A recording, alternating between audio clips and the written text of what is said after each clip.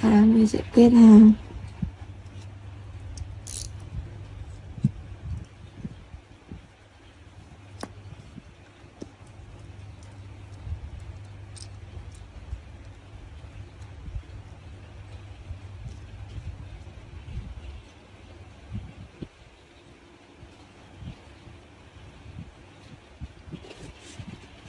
Và mình sẽ lấy sợi len màu hồng nhạt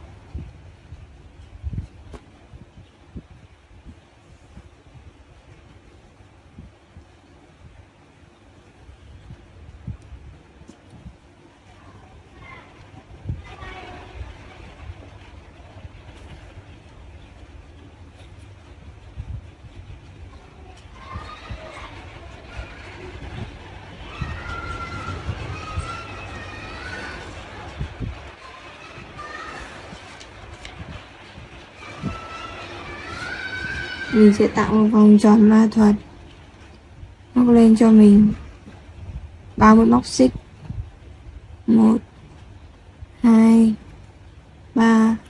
Móc vào đây cho mình hai mũi kép, hai mũi kép đôi.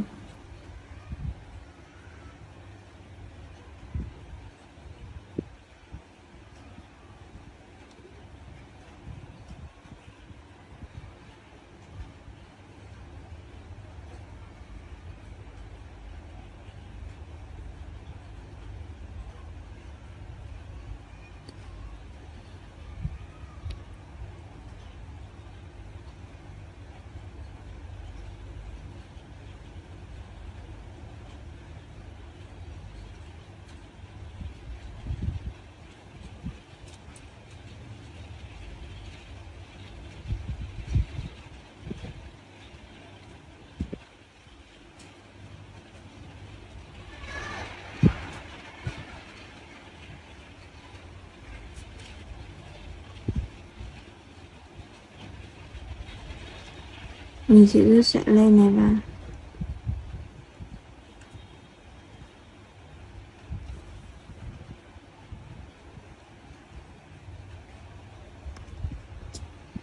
Cắt vào phần len thừa đi.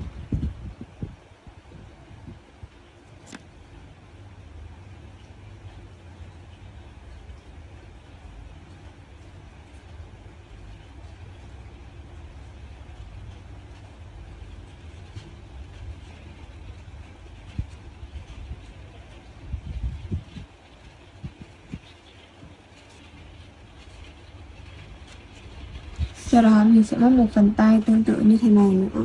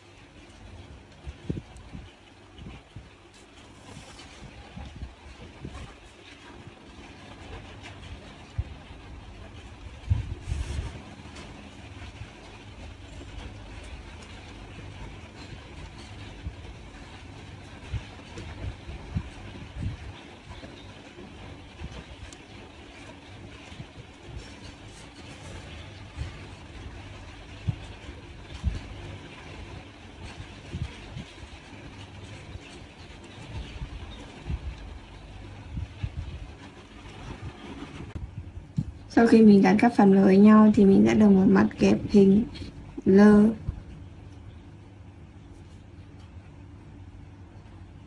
đây là thành quả mà mình móc xong mặt kẹp hình nơ